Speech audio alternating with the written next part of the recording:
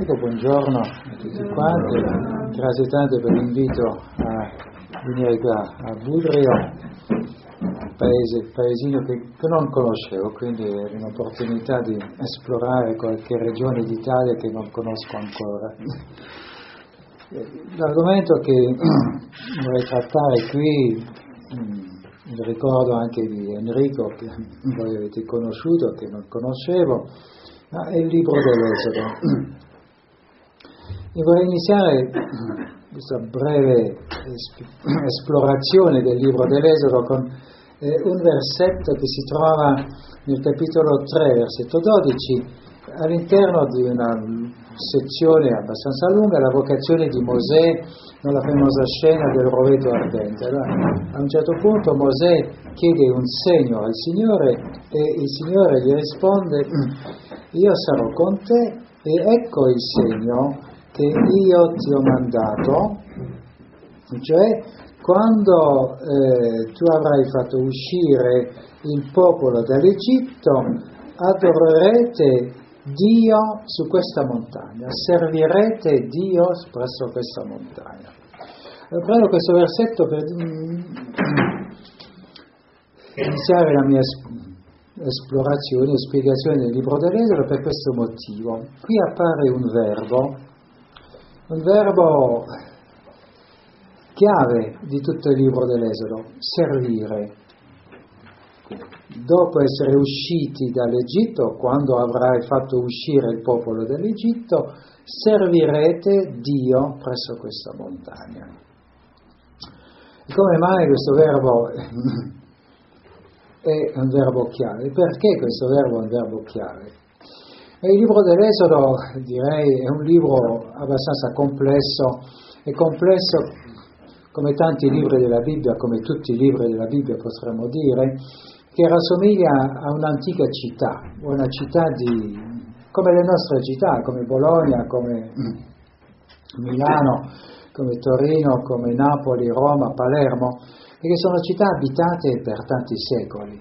Quindi con un centro storico, anche il centro storico è stato rimaneggiato più volte, ci sono palazzi di diverse epoche, no?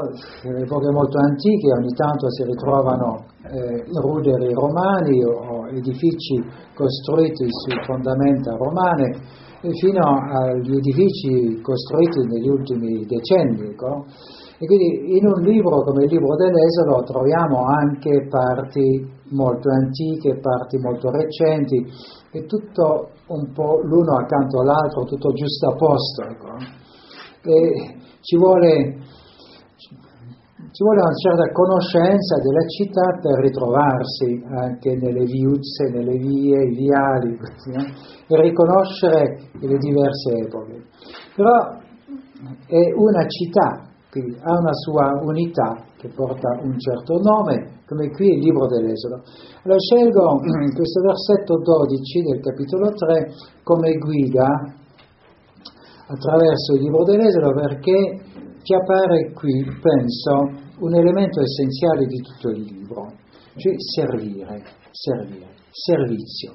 E la domanda che si pone sin dall'inizio del libro dell'Esodo è di sapere chi si deve servire, chi si deve servire. E, sì, o chi Israele deve servire. E il primo, primo problema, prima domanda sorge già nel primo capitolo perché Israele è arrivato in Egitto, sappiamo, no? eh, conosciamo la storia, con, con Giuseppe, poi Giuseppe ha chiamato tutta la famiglia che è venuta a stabilirsi in Egitto e lì è diventato un popolo numeroso, no? sono moltiplicati, sono diventati numerosi, un popolo eh, molto grande. No? E arriva allora il famoso faraone che non conosceva Giuseppe e che prende paura perché eh, gli immigrati hanno troppi figli. Eh, accenno a una situazione conosciuta, un po' più recente del libro dell'Esodo, ma così, no? Eh, hanno molti figli e allora il faraone prende paura e dice ma che cosa fare per limitare le nascite? Eh, e eh, la misura che prende finalmente, riassumo brevemente il testo, poi torneremo sui particolari, è di eh, ridurre in schiavitù, farne dei, dei schiavi. Quindi il popolo di Israele, che diventa numeroso, viene eh, impiegato a lavori, lavori forzati, a corvée, quindi devono partecipare alla costruzione di città. Poi nel capitolo quinto si parla di un lavoro molto specifico, cioè la fabbricazione dei mattoni. Però perdono la libertà, diventano tutti schiavi. E allora il primo problema è sapere se Israele può rimanere schiavo, sì o no. È schiavo del faraone, sì o no. E come, come, nella storia arriva la vocazione di Mosè, cioè Mosè viene chiamato dal Signore per far uscire Israele dall'Egitto. Far uscire nel vocabolario dell'epoca significa anche liberare, affrancare. Quindi, far uscire dall'Egitto significa liberare dal faraone, dalla servitù. E così c'è un titolo di un libro, sul libro de, di un libro, un commentario all'Esodo, scritto negli anni 60, quindi prima del diluvio, prima del concilio, diluvio, concilio, forse di un eh, sacerdote francese, un esegeta francese, Georges Osu, e il titolo ben certo aveva l'arte di scegliere titoli fantastici per i suoi commentari ai libri della Bibbia, dalla servitù al servizio. Dalla servitù al servizio. Eh, far uscire Israele dall'Egitto e liberare eh, Israele dalla schiavitù, farne un popolo libero, però libero per servire il Signore. Ecco. Ora, in ebraico, nelle lingue antiche, ma soprattutto in ebraico, è lo stesso verbo, è la stessa parola, che significa lavoro, schiavitù, servitù, significa anche servizio, però anche liturgia e lavoro, la stessa parola in ebraico ha tutti questi significati. In realtà la parola liturgia in greco significa anche servizio. Eh, l'ho scoperto per puro caso, ma come anche in greco moderno. Andando ad Atene, eh, sono andato al grande museo nazionale, no? e allora lì sulla porta, all'entrata del museo, c'è una scritta no? per dire quando è aperto il museo in inglese visiting hours e in greco ores liturgias, le ore di liturgia, ore di servizio, ore di apertura. Liturgia significa servizio, lavoro. Ecco. Tutto quello per dire che allora, Israele può uscire, uscirà dall'Egitto dopo le piaghe, la Pasqua, Pasqua primo servizio, prima liturgia, no? prima liturgia, primo servizio, servizio liturgico stessa parola, come detto in ebraico, no? il popolo libero celebra, prima ancora di uscire dall'Egitto, per la prima volta celebra il suo Signore nella prima liturgia, che è la liturgia della Pasqua, del passaggio, no? che ricorda l'uscita dall'Egitto. Bene.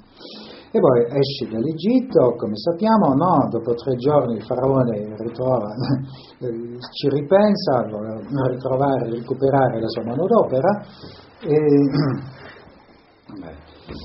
assistiamo al famoso racconto del passaggio del mare, nel miracolo del mare, capitolo 14, no? una lettura che facciamo ogni anno durante la veglia pasquale, e si ritrova nel deserto.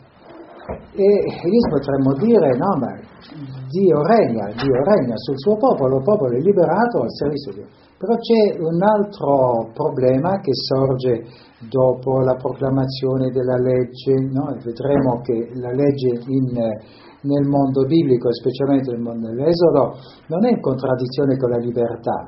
Questa è una mentalità molto moderna, post-esilica direi, di dire che la, la, libertà è limitata dalla legge. No, no, è proprio il contrario nella, nella, Bibbia. E Dio proclama la legge, il popolo l'accetta, c'è un, una, un rituale eh, al quale eh, Israele promette di osservare la legge e si conclude in alleanza. Questo no, il quadro rituale e giuridico eh, di per quella persezione è l'alleanza. Israele e Dio conclude un'alleanza, o Dio conclude un'alleanza con il suo popolo e il popolo promette di osservare la legge. Bene, bastano 40 giorni per già cambiare idea, no? conosciamo tutto questo, Mosè sale sulla montagna e poi Dio gli spiega come costruire la tenda dell'incontro, cioè il santuario, e nel frattempo eh, gli israeliti vanno in discoteca, cioè discoteca, come dire, ma cominciano ad annoiarsi e preferiscono allora trovare qualche occupazione un po' più interessante, chiedono ad Aronne di fabbricare il vitello d'oro. Quindi il primo concorrente del Signore, della sovranità del Signore è il Faraone, quindi c'è concorrenza fra Dio e il Signore rivalità, trionfa il Signore e arriva il secondo rivale, cioè il vitello d'oro. Beh, Mosè scende dalla montagna, distrugge il vitello d'oro e eh, conclude una seconda alleanza. E allora, dopo la seconda alleanza o il rinnovamento dell'alleanza con, mm, fra Dio e il popolo eh, nel capitolo 34, no? 33 soprattutto il 34, allora assistiamo alla costruzione del santuario nel quale Dio scende nel capitolo 40. E riprendo brevemente tutto quello che ho provato a spiegare adesso a partire dal capitolo 40. Il libro dell'Esodo si conclude quando Dio scende dal monte Sinai, no? la nube, la gloria del Signore, no? tutti i simboli e conosciamo, cioè la nube, la colonna di nube o la gloria del Signore viene ad abitare nella tenda e lì si conclude. Israele però rimane eh, nei pressi del Monte Sinai, a piede del Monte Sinai, fino al capitolo 10 del libro dei numeri, quindi c'è tutto un libro, il libro del Levitico, noiosissimo, ma che probabilmente nessuno di voi ha mai letto e non vi invito a leggerlo perché è noiosissimo, no, con tutte le regole sui sacrifici, così mm, tutte le regole della liturgia. Eh, tutto questo è il libro del Levitico, poi il libro dei numeri, il popolo si prepara a mm, viaggiare, attraversare il deserto no, e andare verso la terra promessa e fino al capitolo 10 del libro dei numeri siamo proprio presso il Monte Sinai, perché il libro dell'Esodo finisce nel capitolo 40. E c'è un motivo, e qui bisogna tornare non soltanto all'inizio del libro dell'Esodo, ma all'inizio del libro della Genesi. All'inizio del libro della Genesi abbiamo un lungo racconto della creazione, no? in sette giorni. E Dio crea la luce, come sappiamo, no? poi separa le acque, eh, fa crescere l'erba sulla terra asciutta e poi beh, installa il grande orologio di dell'universo, cioè il sole, la luna, le stelle, no? per fissare tutti i tempi, e poi crea gli animali, poi prima coppia umana e poi sabato questo racconto, se uno lo studia bene, soprattutto lo confronta con altri racconti dello stesso tipo che conosciamo dal vicino Oriente Antico, manca qualche cosa. Manca qualche cosa alla fine del racconto. Cioè, in tutti i racconti del vicino Oriente Antico in Babilonia, il famoso racconto di Numa Elish, poi i racconti di Ugarit, cioè una città della Fenicia che si trova nella Siria attuale, dove c'è un Dio che conosciamo perché lo ritroviamo nella Bibbia, il Dio Baal, Dio Baal anche no, vince il mare, così organizza l'universo, quando il Dio creatore, la divinità che crea, organizza l'universo, ha finito il suo lavoro, cosa fa? Si fa costruire un tempio, un tempio, e c'è a Ugarit, così come in Babilonia, alla fine del racconto di creazione, la, una descrizione del tempio della divinità. Perché? Perché il Dio, la divinità che ha creato l'universo, viene a regnare sull'universo creato, quindi costruisce il suo palazzo, esattamente come un re, un sovrano si conquista un regno, un impero, poi si sceglie una capitale e si fa costruire il suo palazzo in mezzo alla, al suo regno, al suo impero, per significare che ormai è lui il re, il sovrano. Eh. E quindi il Dio creatore, nello stesso modo, i racconti utilizzano le stesse immagini, no? si costruisce un tempio. E da questo tempio, il tempio della divinità nel mondo antico è il palazzo, la casa. Così nella Bibbia si parla della casa del Signore, è il suo palazzo. Ma per noi un tempio è piuttosto un luogo dove si raduna la gente per pregare, per le liturgie e così via. Ma primo, la prima funzione, il primo ruolo di un tempio nel mondo antico è di significare no, la presenza di questa divinità e questa divinità è la nostra divinità, che regna, regna su questo territorio. No? Come un re ha un suo palazzo e il palazzo del re, il palazzo del sovrano, tutto il territorio. Quindi il racconto della Genesi è incompleto, manca un tempio, non c'è il tempio. E dov'è il tempio? E perché non c'è tempio? Perché non c'è tempio è molto semplice. Dio non ha ancora un popolo, è ancora il Dio di tutto l'universo, di tutte le nazioni. E Dio si sceglierà un popolo soltanto a partire dal capitolo 12 quando chiama Abramo. Abramo è l'antenato del suo popolo. Quindi Israele è un popolo molto giovane, ma gli altri popoli sono tutti menzionati, elencati nel capitolo 10, dopo il diluvio, no? abbiamo una tavola delle nazioni, però in questa tavola delle nazioni manca un popolo, manca il popolo di Israele c'è soltanto l'antenato lontano, cioè Sem, il primogenito di, di, di, Noè, che sarà l'antenato di Abramo dopo un bel paio di generazioni. Quindi Dio non si è ancora scelto un popolo, non è il Dio di un popolo. Quindi Dio si sceglie il suo popolo, gli antenati, Abramo, Isacco, Giacobbe e così via, poi Giuseppe che scende d'Egitto, e quando inizia il libro dell'Esodo, Israele diventa un popolo, prima c'è soltanto la famiglia, no? il libro della Genesi racconta gli inizi o le origini del popolo di Israele, però abbiamo soltanto la storia di una famiglia, no? una famiglia, fin quando beh, la famiglia diventa un po' più numerosa con i dodici figli di Giacobbe che scendono in Egitto e lì, pop, lì figli di Israele prende un altro significato. In tutto il libro della Genesi, figli di Israele sono figli di Giacobbe. Giacobbe e Israele sono due, sono i due nomi dello stesso patriarca, ma figli di Israele all'inizio del libro dell'Esodo diventa sinonimo di israeliti, membro del popolo di Israele, no? perché il popolo diventa numeroso, non sono soltanto i dodici figli di Giacobbe e Israele diventa un popolo.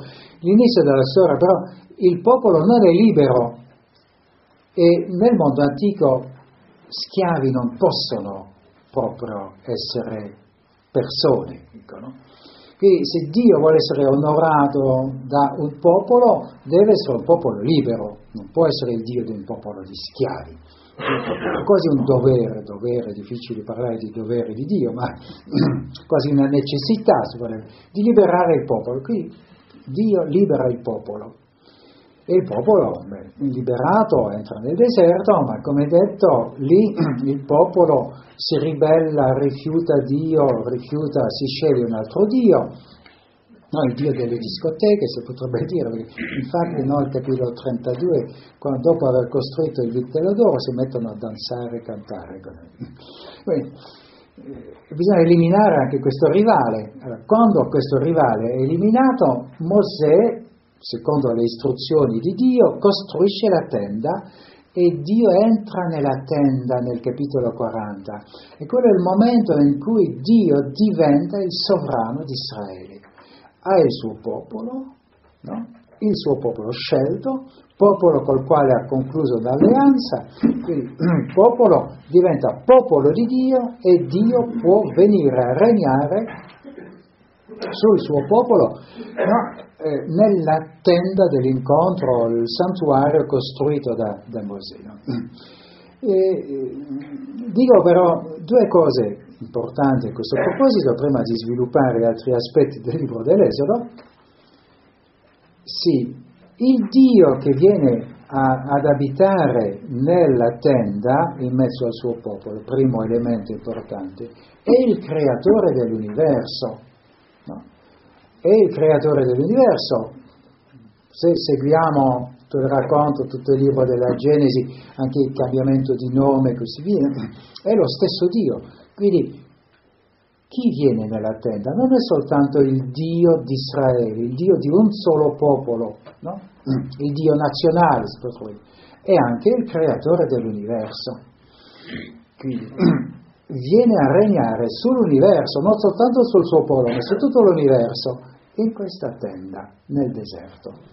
Il secondo elemento, ne svilupperò forse un po' più a lungo, ma interessante vedere che normalmente Dio si costruisce un tempio, tempio solido. Qui è una tenda.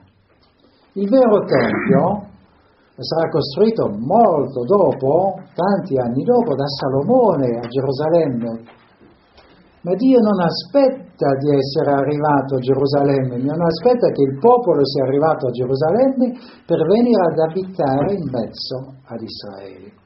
Non aspetta che il popolo abbia attraversato il deserto, abbia attraversato il Giordano, abbia conquistato la terra abbia conquistato la città, città, abbia conquistato la città di Gerusalemme e che Salomone abbia costruito un tempio per venire ad abitare insomma, in mezzo al suo popolo. No, viene ad abitare nel deserto in una tenda, una tenda che si sposta. Allora, per dire le cose in modo molto semplice, però penso che sia anche il modo di, di, di percepire un po' meglio il, il, cambiamento che introduce questa immagine. Allora, conosciamo i salmi, no? I salmi, i salmi del pellegrinaggio. Eh, oh grande la mia gioia quando mi hanno detto andiamo alla casa del Signore. No? Sono i, i, i, salmi di pellegrinaggio. Il popolo va verso il suo Dio. Quindi l'immagine che abbiamo nei salmi, non soltanto nei salmi ma anche nei profeti, del pellegrinaggio del popolo e di tutti i popoli verso Gerusalemme. No? La prima lettura di domenica scorsa, no? il monte Sion diventa più alto di tutti i monti e confluiscono, affluiscono tutti i popoli verso Gerusalemme. Quindi Gerusalemme è il centro, il Tempio è il centro e il popolo, gli israeliti e poi tutte le nazioni affluiscono a Gerusalemme, si radunano lì. Nell'Esodo non è quella l'immagine, L'immagine è di un Dio pellegrino con i pellegrini. Ci si rovescia l'immagine. Non è il popolo che cammina verso il Tempio, è il Tempio che cammina con il popolo. Cioè il Tempio si sposta no?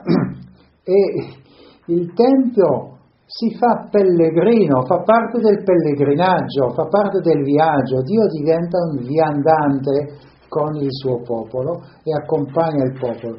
Quindi per essere con Dio non si deve camminare verso la, il Tempio, bisogna camminare nel deserto, seguire Dio, perché è la colonna di nube no? che guida il popolo. Quindi il popolo segue il suo Dio che si fa pellegrino fra i pellegrini. E capite che c'è tutto un cambiamento di immagine all'interno dell'Antico Testamento importante no? sull'immagine di Dio. È un Dio che cammina, viandante. No? Potete vedere che già abbiamo già una immagine simile nel libro della Genesi perché Dio cammina suo, con i suoi patriarchi, no? con i patriarchi. E specialmente c'è un piccolo testo interessante, il capitolo 46 del libro della Genesi, quando Giacobbe no, eh, dopo aver sentito le notizie di suo figlio, no? Giuseppe si è fatto riconoscere dai fratelli e poi invita il padre a andare in Egitto, allora Giacobbe finalmente si decide, allora c'è l'unico oracolo di Dio in tutta la storia di Giuseppe, oracolo per eh, Giacobbe, sulla frontiera a Beersheba, Dio appare a Giacobbe e dice scendi in Egitto, scendi in Egitto. A, Isacco aveva detto il contrario, ma comunque tu puoi scendere in Egitto e io vado con te non ci sono mai stato, è l'occasione, faccio la valigia e vado con te in Egitto. Ecco. Voglio vedere anche le piramidi una volta almeno. Ecco, io vado con te, vado con te, scendo con te, poi ti farò tornare, così fatto tornare eh, Giacobbe, tornerà soltanto quando sarà morto, ma significa anche Giacobbe Israele, il popolo, il popolo, no? La persona eh, è anche simbolo del di tutto il popolo. Eh, quindi nel libro dell'Esodo questo Dio, creatore dell'universo, che certamente meritava più di Marduk o di Baal o di qualche divinità, un tempio, un bel tempio nel centro dell'universo, si accontenta di una tenda per poter spostarsi con il popolo, accompagnare il popolo, guidare il popolo, assistere il popolo, aiutare il popolo nel cammino attraverso il deserto. È già presente, anticipa, se volete, la sua presenza permanente nel Tempio di Gerusalemme in questa tenda, in questo santuario. E ritroviamo questa immagine in un testo che leggeremo durante il tempo di Natale il versetto 14 del primo capitolo di Giovanni, il prologo, prologo di Giovanni, il verbo si è fatto carne e ha piantato la sua tenda fra di noi, si potrebbe tradurre così se uno va a ritrovare il verbo greco, il significato del verbo greco, ha piantato la sua tenda verso di noi e abbiamo visto la sua gloria. Ora è proprio la parola che si trova nel capitolo 40 del libro delle Nell'Esodo la gloria del Signore viene ad abitare nella tenda. La gloria del Signore ormai per il Nuovo Testamento è la persona di Gesù Cristo. Abbiamo visto la sua gloria, la gloria del figlio genito. Quindi tutti i simboli che troviamo nel libro dell'Esodo si, si ritrovano, oh, tutti, gran parte dei simboli si ritrovano nel prologo di Giovanni per descrivere l'incarnazione, è un Dio che viene ad abitare in mezzo a noi nella forma, forma forse inaspettata, cioè è una persona umana con tutta la sua fragilità, si è fatto carne, carne è la parola nel Nuovo Testamento che descrive la persona umana sotto l'aspetto effimero, fragile, no?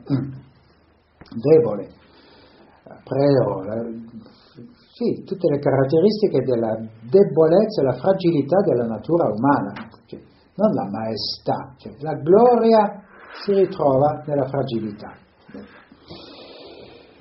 E così anche Gesù, nel capitolo 14 dei no, discorsi dopo la, dopo la cena, si descrive così, io sono la via, la, ve- la verità e la vita. Via, verità e vita. Quindi per vivere, con, vivere eh, l'ideale del Vangelo bisogna stare sulla strada, camminare sulla strada. È un cammino, la vita è un cammino. E Gesù è la via, e questa è la verità e questa è la vita, ecco, non c'è altrove. Poi tutte le immagini che troviamo nell'Antico Testamento, specialmente nel libro dell'Esodo. Bene, qui capiamo che tutto il libro dell'Esodo è sul problema del servizio, sovranità, chi è il sovrano di Israele e chi Israele deve servire. Primo, prima domanda, prim, prima difficoltà, cioè servire il faraone o Dio e nella seconda metà servire il vitello d'oro o Dio. Sempre scelte.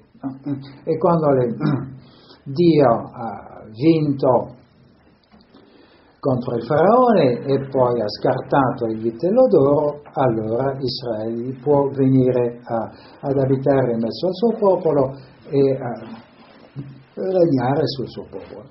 Adesso riprendiamo forse no, le diverse parti e proviamo ad approfondire un po' per quanto possibile no, questa idea di sovranità e di servizio. No? Chi è il sovrano di Israele? L'inizio del, libro del, libro dell'Esodo, come sappiamo, no, è il momento in cui Israele diventa un popolo numeroso e il faraone decide di eh, ridurlo in schiavitù. No? Prende diverse misure, eh, prima farlo lavorare e poi chiama le famose levatrici, no? dicendo bisogna uccidere tutti i bambini maschi quando nascono e lasciamo vivere le figlie. Uno potrebbe dire, ma ci sono un certo numero di piccole difficoltà, contraddizioni, non, non voglio qui insistere troppo, ma uno potrebbe dire, ma è un po' strano, lui ha bisogno di manodopera e poi uccide tutti i maschi, no? ma comunque, vabbè, pazienza. Come si sa, non si deve mai discutere le decisioni dei politici. e si vede già nella Bibbia, non è molto logico, ma è così. Poi le levatrici non obbediscono, no? È un testo molto interessante, ricordo di aver sviluppato questo una volta per l'articoluccio a partire dalle riflessioni di Gustavo Zagrebelski, no, che conoscete, no, che è stato eh, eh, capo della, della, Corte Costituzionale, se non sbaglio, comunque eh, costituzionalista, no, un giurista, che eh, in piccolo libretto, parecchi anni fa, Il diritto mite, fa una distinzione importante fra diritto e legge. Diritto e legge. Il diritto normalmente non deve essere scritto, il diritto è, fa parte della natura umana, si potrebbe dire, no? della coscienza umana, della natura umana che se prende eh, diverse forme, se può esprimersi in tanti modi diversi secondo le culture, secondo le storie, secondo le nazioni, no? è iscritto nel mondo umano, nella società umana. Quindi non ha bisogno di essere proclamato, non può essere modificato. Grigia, scusate, è di qualcuno? L'Apollo grigio è di qualcuno? Sta pesando loro. Sì, ok, chiedo scusa. Ah, ecco, comunque, torno al mio punto, no? La, il diritto non deve essere proclamato certa, da nessuna autorità, non può essere modificato e non può essere abrogato. No? È permanente, universale, non dipende da, non cambia da un territorio all'altro, non cambia da un'epoca all'altra, no, no. E sono i diritti fondamentali, no? sono questi famosi diritti umani, si potrebbe dire. No? Un modo di provare a definirli, ma ogni definizione è normalmente eh, restrittiva. Eh, mentre la legge è sempre proclamata da un'autorità, può essere modificato, una legge può essere modificata da questa autorità, può essere abrogata da questa autorità e vale soltanto nel territorio per le persone che dipendono da questa autorità. Cioè, la legge italiana vale in Italia, non vale in Spagna. No? In Spagna vale la legge spagnola, cioè non vale in Marocco, in Tunisia, e poi vale fin quando c'è un referendum per cambiarla, o, o, quando il Parlamento la cambia, e poi è abrogata e così via. E allora aggiunge un esempio, un bel esempio, eh, Gustavo Zagrebeschi nel suo libro Mite è Antigone. Prende un eh, esempio dalla tragedia greca, Antigone. No, conoscete la storia, no? ci sono mm, ribellioni fra, contro Creonte, che sarebbe lo zio, fratello di eh, Edipo, e due fratelli di eh, Antigone eh, si sono schierati uno a favore di Creonte e l'altro contro, poi beh, si incontrano, si uccidono, muoiono entrambi. E Creonte dice colui che mi è stato fedele, quello può essere sepolto, l'altro invece no. E Antigone dice, sono entrambi i miei fratelli, hanno entrambi il diritto alla sepoltura. E un fratello non è mica uno schiavo, e quindi di notte va a prendere un po' di, di polvere e sparge la polvere sul cadavere e questo basta per seppellire, però è stata scoperta, condannata, sarà sepolta viva, così, però questo una cata- provoca una catastrofe tremenda eh, a Tele. Comunque, però dice eh, Antigone a un certo, pon- a un certo punto, io obbedisco non alla tua legge creonte, ma alla legge non scritta degli dei la legge non scritta degli dei. Quindi c'è una legge superiore a quella di Creonte e la legge non scritta, iscritta nel cuore umano, nella mente umana, nella natura umana, nella società umana. E Antigone difende questo diritto. Allora, eh, questi diritti hanno normalmente da vedere con la nascita, col matrimonio, con, con la sepoltura, ecco, no? soprattutto da questi tre ambienti dove eh, ritroviamo i diritti. Allora, nel capitolo 2, capitolo, alla fine del capitolo primo del libro dell'Esodo, così come all'inizio del capitolo 2, abbiamo una situazione di questo tipo. Il faraone emana una legge, legge dicendo bisogna buttare nel Nilo tutti i figli, mm, tutti i figli degli ebrei, tutti i bambini maschi, cioè leggi, no? emanare, un ordine, decreto. Questo è la, la fine del capitolo. Prima il primo ordine, legge del faraone alle levatrici, alle levatrici. Eh, sì, sì, anche insiste Gustavo Zagrebelski su un punto, dice il diritto normalmente difeso dalle donne mentre la legge è emanata dagli uomini. In questo caso è proprio così. Il faraone no, dà un ordine alle levatrici di uccidere i bambini maschi alla loro nascita. E allora il testo ebraico gioca un po' con le parole, no? in ebraico sono è possibile questo gioco di parole, non si può rendere in italiano. Le, quindi, le levatrici temettero il Signore, no? il faraone dice dovete guardare il bambino, se è un maschio lo dovete uccidere, se è una figlia lo potete lasciare vivere. Eh, guard- si aspetta nella frase seguente e le levatrici guardarono videro e uccisero. In realtà il, il, verbo temere in ebraico è molto simile al verbo vedere, temere, vedere, molto simile. Allora uno si aspetta, e videro, no? E temettero. Temettero Dio e lasciarono vivere tutti quanti. Significa che qui queste levatrici, no? rispettano il diritto piuttosto che la legge. Il diritto per loro è più importante della legge. Significa c'è in Egitto un'autorità superiore a quella del faraone, quella di Dio. Allora non è Dio il Dio di Israele, no? col nome, no, è Dio. E si utilizza un'espressione che conosciamo, il timore di Dio. Ma timore di Dio in queste circostanze, in altre circostanze, significa rispetto del diritto, del diritto fondamentale di ogni persona. E che queste levatrici negano al faraone il diritto di decidere della vita e della morte di un bambino che nasce, di un neonato. Il faraone non ha questo diritto. E, è una contestazione del eh, potere assoluto del faraone in un'epoca in cui il sovrano come il faraone aveva tutti i diritti.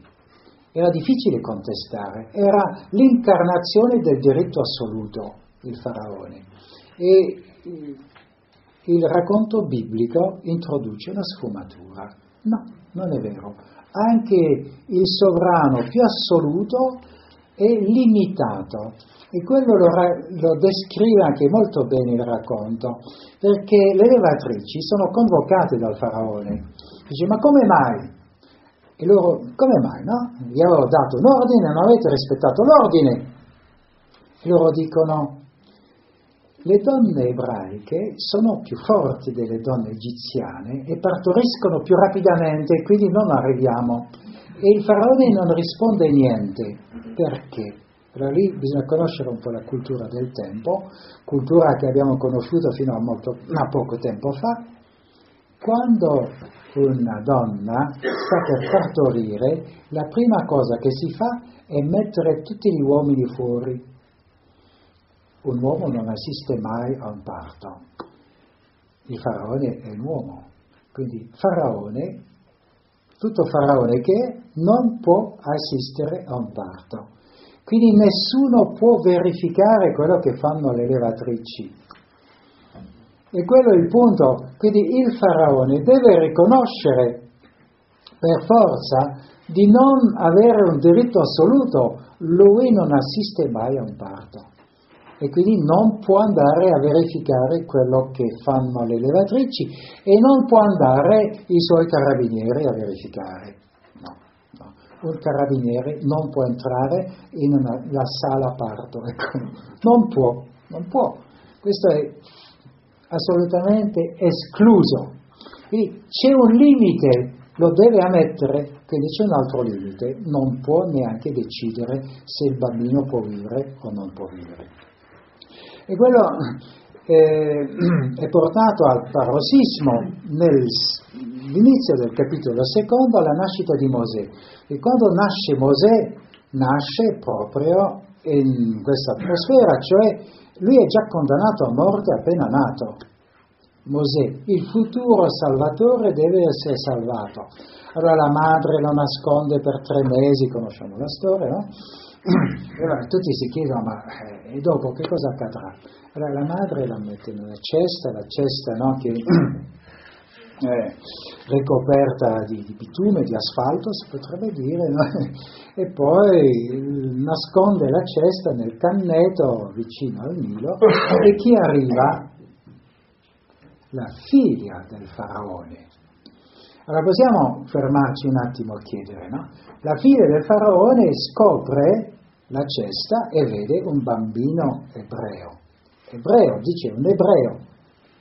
Allora può fare due cose, rispettare la legge, cioè la legge di suo padre. E chi deve obbedire al faraone se non la figlia? No? Obbedire al, al, al padre e quindi prendere il bambino, buttarlo nel Nilo. Non è difficile, l'ha trovato nel caneto vicino al Nilo. Quindi poco da fare, ecco, no? Prenderlo, rovesciare la cesta o ascoltare la voce del diritto, dicendo il bambino, il bambino non può essere ucciso, non può. Cioè, il diritto ha diritto a vivere come ogni essere umano. E allora il bambino ha una idea geniale in questo momento. Proprio quando la figlia del faraone lo scopre, cosa fa? L'unica cosa che può fare un neonato di tre mesi, piange, piange. Al momento giusto piange e quindi si commuove, si commuove la figlia del faraone e lo salva. Non di meno, no, il racconto, l'ho un po' abbellito. la scelta è quella, la figlia del faraone poteva obbedire, obbedire all'ordine di suo padre o ascoltare la voce anonima, no? come dice Antigone, la legge non scritta degli dei, è quello che va. Eh, certamente se qualcuno doveva obbedire al faraone era sua figlia, ma significa che per il racconto biblico la voce del diritto è così forte che persino la figlia del sovrano che ha emanato la legge disobbedisce. È troppo forte, così forte che la figlia disobbedisce. Persino la figlia di un sovrano assoluto come il faraone può non obbedire a una legge ingiusta. Allora, tutte le leggi non sono giuste, grazie a Dio, ma quando c'è un conflitto, ecco quello che accade secondo la Bibbia. No? Eh, allora, eh, il racconto continua, no? aspettiamo evidentemente che Mosè sia il liberatore di Israele, che lui faccia uscire il popolo dalla schiavitù e così via. Eh, come fare? Come fare? No? Ci sono tanti modi di fare. Allora, il racconto è, è molto interessante perché conosciamo forse questa storia no? che pone problemi, ma allora, Mosè viene educato, allevato, educato nella casa del faraone perché la figlia del faraone lo adotta, adozione non è nel senso giuridico che ha questa parola oggi, ma diventa suo figlio, lo eh, alleva lo educa come se fosse suo figlio. Poi quando lui diventa adulto esce, esce dal palazzo del faraone e vede, il primo conflitto, no, è tutto un racconto emblematico evidentemente, vede un eh, egiziano che maltratta un ebreo, può scegliere, no? Perché lui, eh, si dirà dopo, è egiziano, qui è stato educato come egiziano, però il suo sangue è sangue ebreo. Poi c'è un problema di giustizia, no? Si vede che l'uno maltratta l'altro, beh, scegli, cioè sceglie l'ebreo, parla il sangue, chiude l'educazione e quindi ammazza l'egiziano e lo nasconde nella sabbia, lo nasconde e non guarda a destra e a sinistra, uccide a destra e a sinistra perché non ha autorità. L'indomani, altro caso più complicato, questa volta sono due ebrei.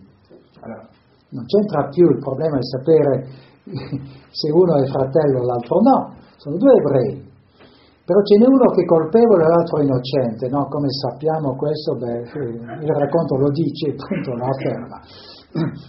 Allora, Mosè deve scegliere di nuovo, e qui beh, si proietta il Mosè che tro- ritroveremo dopo, lui prende parti per colui che è innocente contro colui che è colpevole.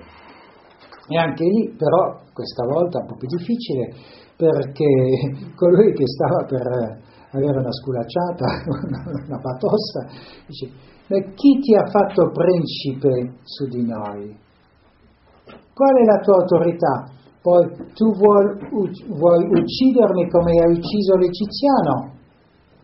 Significa il, la tua autorità e la tua forza, perché tu sei forte, non sei stato nutrito bene nel palazzo del faraone, quindi vuoi utilizzare la tua forza per imporre il tuo diritto. Mosè si accorge allora che la cosa è stata conosciuta, qualcuno l'ha visto probabilmente, no, o l'ha tradito e lui fugge nel deserto.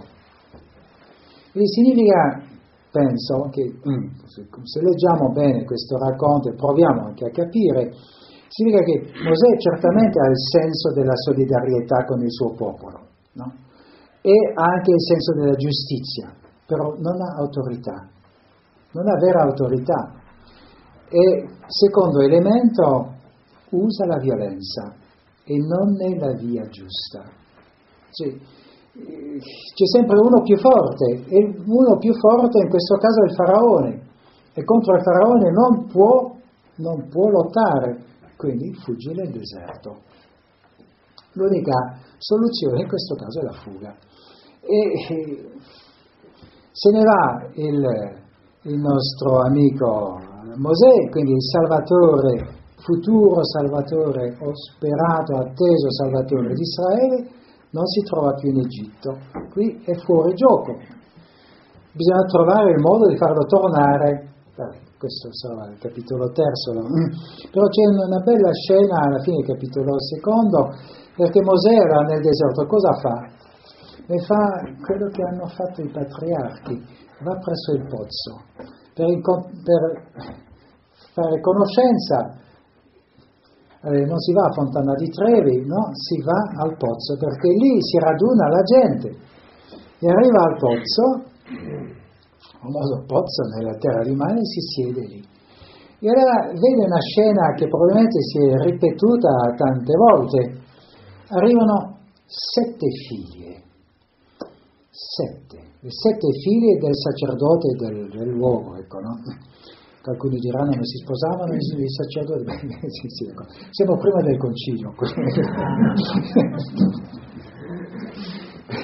Il sacerdote aveva sette figlie e le sette figlie arrivano con le greggi e riempiono tutti gli abbeveratoi. Quando tutto è riempito, pronto, arrivano i pastori mascalzoni, cacciano via le figlie e si servono.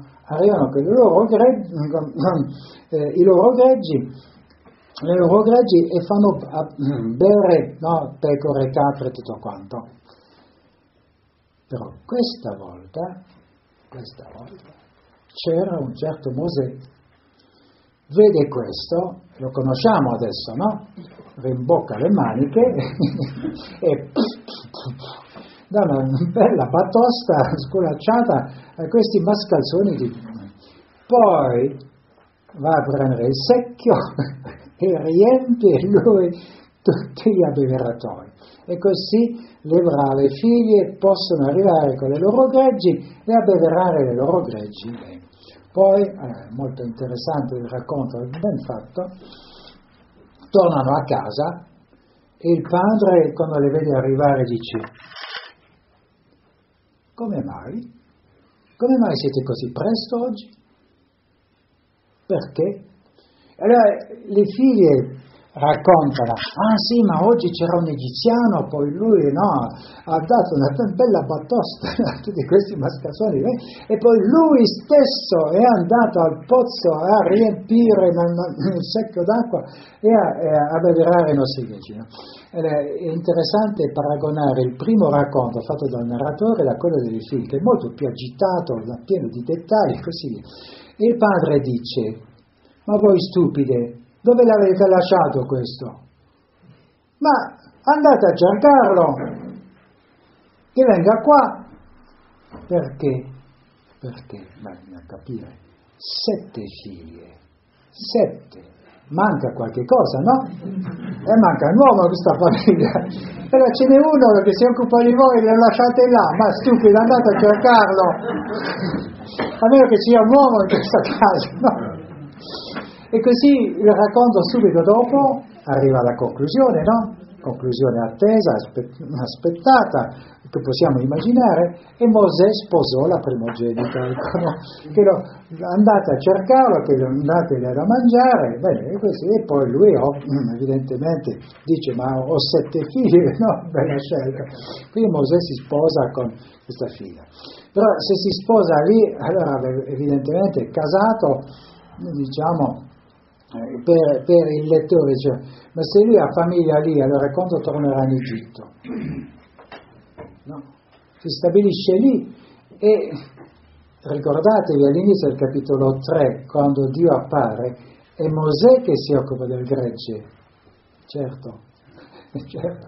le figlie possono finalmente rimanere a casa, è Mosè che andava ogni giorno al, al pozzo e quando i pastori lo vedevano, lo vedevano arrivare si allontavano, beh, avevano ricevuto una bella lezione e l'avevano ricordata. Ecco.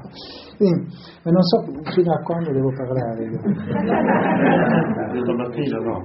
No, no, no, no, no, no facciamo due momenti, quindi due quando momenti. Stanno, facciamo una pausa. Sì, sì, sì, facciamo una pausa, che siamo soltanto all'inizio del capitolo 3. Ce ne sono 40. quindi no, no, no, non faremo i 40 capitoli. Sì, sì, sì, sì, sì, sì, non facciamo i 40 capitoli, non preoccupatevi. Comunque avevo già fatto quasi tutto fino al capitolo 40, abbiamo visto l'essenziale, ma mi, soffermo su alcuni particolari no? interessanti. Quindi introduco soltanto il capitolo 3, poi facciamo una piccola pausa, no? Va bene? Sì. Quindi all'inizio del capitolo 3 siamo nel deserto e Mosè che si occupa, si occupa del gregge di suo suocero, beh, Pietro, Reguello. E allora un giorno va un po' più lontano nel deserto, si inoltra e vede qualcosa di strano. Cioè c'è un cespuglio, un roveto, che sta bruciando. sta bruciando però non si consuma, cioè si brucia, brucia per un certo tempo, poi tutto bruciato, cioè rimangono ceneri, no, no, brucia, brucia, continua a bruciare. E allora eh, Mosè, no? Ma perché questo roveto sta bruciando e non si consuma? Se ci fermiamo qui, è a causa di questo perché che la storia prende una piega particolare. Ecco, no? Se Mosè, adesso fa qualche cosa di strano, però devo occuparmi del gregge, beh, Israele sarebbe ancora in Egitto a fare mattoni. Cioè, se la storia cambia è perché Mosè si chiede perché e va a vedere, va a vedere, lascia la via dove si trovava, devia dalla sua via, devia dal cammino per andare a vedere perché si è chiesto perché. Ed è questo perché che nasce tutto il resto della storia. Era perché beh, si avvicina, no? poi Dio dice ma non puoi avvicinarti, devi toglierti i sandali perché questo luogo è sacro e così via e Dio lo chiama. Ma no? è la curiosità di Mosè che è l'inizio della storia. No? Platone no? in uno dei suoi dialoghi Teteto dice la capacità di stupirsi è la madre della scienza. Gli scienziati sono quelli che dicono ma perché le cose vanno così? Il famoso esempio è la, è la, mela di Newton, no? da quando ci sono meli sulla Terra, quando, da quando maturano le mele, quando si distaccano dal, dal, ramo prendono sempre la stessa direzione, finiscono sul suolo, no? si distaccano dal ramo e finiscono sul suolo. Niente di particolare, però un giorno c'è un certo Isaac Newton che si trova sotto il melo e si dice ma perché? In fin dei conti la mela potrebbe prendere un'altra direzione, perché quella? Fra tutte le possibilità ce n'è una sola, perché quella? e scopre la legge della gravità universale. Allora, se oggi ci sono aerei, possiamo prendere l'aereo, se ci sono eh, sonde spaziali che finiscono su Marte e così via, se gli uomini sono arrivati sulla Luna, è perché qualcuno un giorno sotto un melo si è chiesto ma come mai le mele prendono questa direzione e non un'altra? Stupirsi di quello che sembra naturale, che forse non lo dovrebbe essere o potrebbe essere diverso. Ecco. Eh, Mosè è la stessa cosa, no? Dice perché? Perché? E cambia la storia di Israele, ecco. o cambia il racconto se preferite, da un punto di vista storico molto diverso. E poi Dio lo chiama, eh, sì, lo chiama e, e gli dice ho visto la situazione di Israele, ma lo chiama e lo, chiede di andare. Però adesso facciamo una piccola pausa. Riprendo brevemente il capitolo 3, poi percorreremo il resto, de, alcun, il resto del, del, libro del, dell'Esodo, ma capitoli più importanti. Tutto all'inizio del capitolo 3 è basato sull'uso di un verbo, il verbo vedere, no? che inizia così. Eh, versetto secondo, no? versetto primo dice che Mosè si è inoltrato nel deserto con le, eh, gregge di suo suocero dietro e l'angelo del Signore si fece vedere a lui nella fiamma di fuoco di mezzo al roveto e vide ed ecco il roveto stava bruciando, il cespuglio, il pugno stava eh, bruciando nel fuoco e il, eh, il roveto non era consumato. E allora così dice, ma vorrei andare a vedere, Dio vede che Mosè sta per venire, no? e gli dice allora eh, togliti i sandali, e quando Dio si è rivelato, parla a Mosè e dice, ho visto, davvero visto la miseria del mio popolo in Egitto, ho sentito il suo grido e ho conosciuto la sua situazione. Eh, proprio prima di questo eh, Mosè si è coperto il volto per non guardare Dio, perché temeva di guardare Dio. No? temeva. Quindi Mosè ha il volto coperto e Dio dice ho visto. Qui a partire da questo momento Mosè deve vedere quello che Dio vede, deve sentire quello che Dio sente e deve capire quello che Dio capisce. Quindi è una trasformazione di Mosè, allora è interessante vedere che Mosè ha una visione di Dio, ma Dio gli fa vedere la miseria del suo popolo. Quindi vedere Dio per Mosè significa aprire gli occhi, vedere la miseria del mondo, miseria, miseria del suo popolo. Deve imparare a vedere le cose come Dio le vede, a sentire come Dio sente e a capire come Dio capisce. No? Sono tre verbi, ho sentito, ho visto, ho capito. Ma Mosè a questo punto non ha il volto coperto e quindi deve acquistare la sensibilità di Dio. No? apre gli occhi e capire che quello che Dio dice allora fa uscire il mio popolo dall'Egitto. No? Mosè riceve quindi un incarico di far uscire il popolo dall'Egitto e Mosè esita. Allora abbiamo un racconto di vocazione come ce ne sono tanti, nel, ci sono parecchi nell'Antico Testamento, vari profeti. La vocazione di Isaia non è esattamente di questo tipo, ma quella di Geremia, quella di Gedeone, Ezechiele un po' così, e nel Nuovo Testamento il racconto più vicino a questo racconto di vocazione è quello di l'annunciazione a Maria. No, normalmente c'è un'apparizione, saluto, così via, poi una missione, poi una obiezione, risposta all'obiezione e poi conclusione. E quindi abbiamo qui l'apparizione, no? un po' come l'angelo che appare a Maria, missione, no, che sarà il male, l'obiezione, ma come questo si farà? Qui Mosè non è un personaggio qualsiasi, ha cinque obiezioni, non una, cinque, no? Non fa sempre in dettaglio, in dettaglio cinque obiezioni. Potrebbe dire, ma il più grande profeta dovrebbe dire subito di sì. E eh no, no, no. Il più grande profeta è quello che ha più obiezioni, no? vedremo perché. Anche. E vabbè, la risposta, c'è un segno, poi Dio promette di assistere, e poi conclusione. Ah, perché? Allora mi, mi, direte subito, no, il problema è perché c'è un'obiezione, allora Mosè chiede ma qual è il tuo nome, no? Poi beh, eh, qual è il segno che tu mi hai mandato, poi io non so parlare, poi puoi mandare chiunque vuoi, non perché devo essere proprio io. e perché, vediamo, è tipico dei racconti biblici di vocazione, il centro, il perno della vocazione è l'obiezione.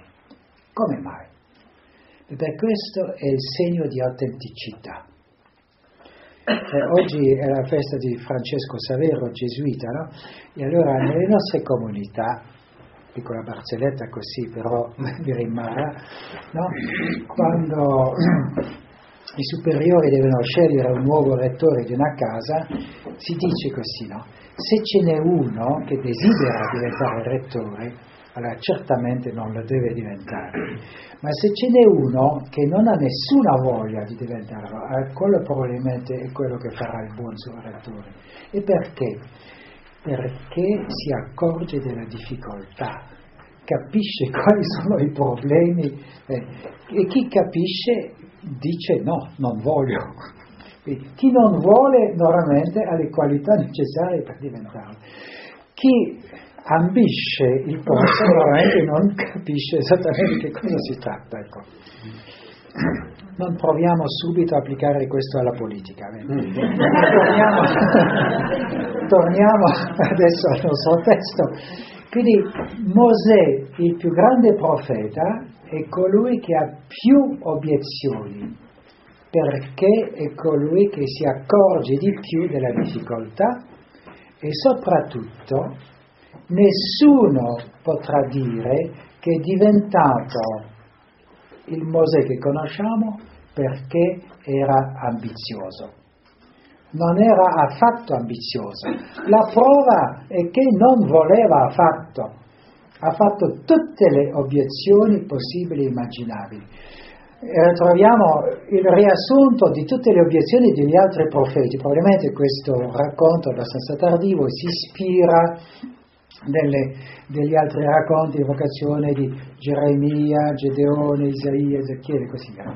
Dirà come Geremia, per esempio, non so parlare, non sono un uomo di parole, no? ho le labbra incirconcise, letteralmente. No? Poi chi sono io, no? come Gedeone, così. Fa il riassunto di tutte le obiezioni possibili degli altri profeti. Significa non aveva nessun interesse, non era ambizioso e non era illuminato, ecco, no? No, no, no.